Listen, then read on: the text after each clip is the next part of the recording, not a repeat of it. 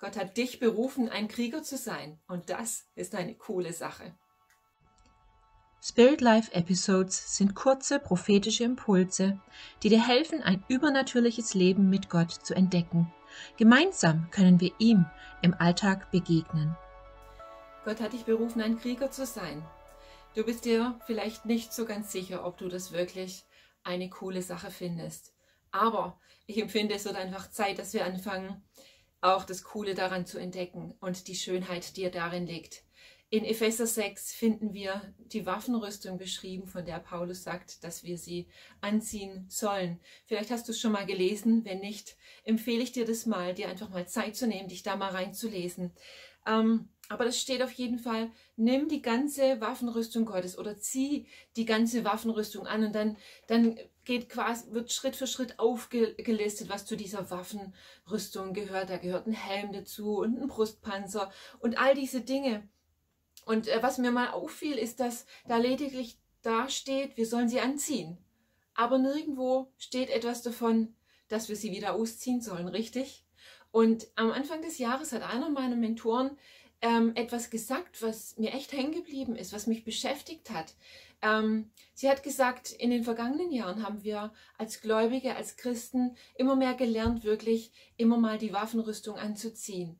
Aber dass sie empfindet, dass wir in diesem Jahr lernen werden, die Waffenrüstung auch anzubehalten.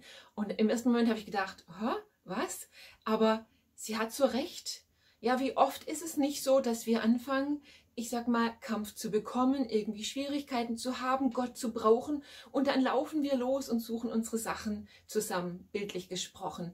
Ich weiß es aus der Erfahrung und den Geschichten und den Berichten von vielen Menschen, dass genau das der Fall ist. Und der Punkt ist einfach, in dem Moment, wo wir eigentlich bereit sein müssten, sind wir dann nicht bereit, sondern wir fangen dann erst an, uns vorzubereiten und ähm, die ganze Situation entwickelt sich nicht so, wie sie könnte. Ja, aber ein Soldat, ein Kämpfer, ein Krieger, der sich im Krieg befindet, der sich im Einsatz befindet, der ist quasi allzeit bereit. Ja, der schläft in Kriegszeiten sogar mit seinen Waffen und in seiner Rüstung, weil er genau weiß, ey, wenn es hart auf hart kommt, habe ich gar keine Zeit, mich anzuziehen oder meine Waffen zu suchen. Ich muss bereit sein, selbst in dem Moment, wo ich schlafe. Und dieses Bild ist so eindrücklich für mich geworden, dass ich wirklich empfinde, dass, dass es ein Ruf ist in unserer Zeit von Gott ähm, an seine an seine Leute, an seine Kinder, an seine Söhne und Töchter, sich zu formieren, wirklich zu einer Armee. Nicht, weil der große ultimative Krieg auf uns wartet. Jesus hat am Kreuz bereits den Sieg errungen, aber wir wissen auch, dass dieses Leben Kampf bedeutet, dass wir in geistliche Kämpfe verwickelt sind.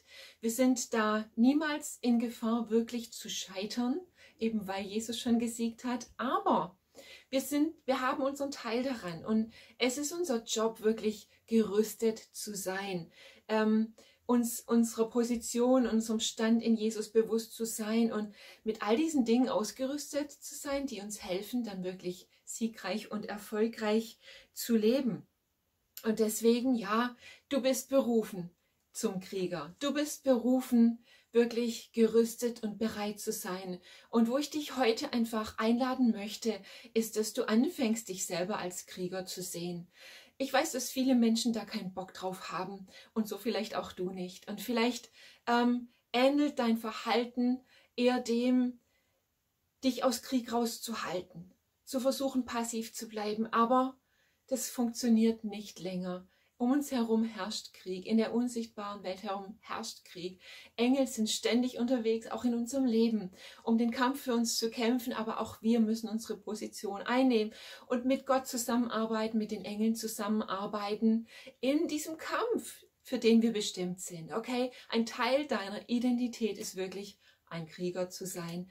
Und wenn du anfängst, dich selber so zu sehen, und da lade ich dich wirklich ein, an, ähm, buchstäblich in deiner Vorstellungskraft ein Bild von dir selber zu entwickeln ähm, mit Rüstung. Fang an, Gott zu bitten, dir deine Rüstung zu zeigen, dich selber lernen, im Geist so zu sehen als ein Krieger Gottes. Denn das bist du. Du trägst Jesus in dir.